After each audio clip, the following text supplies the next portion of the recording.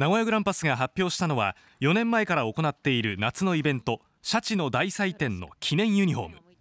8月と9月のホームゲーム3試合で選手が着用します。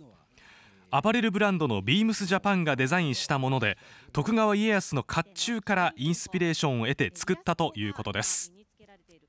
And I like the, the details which which are like the samurai's armor. So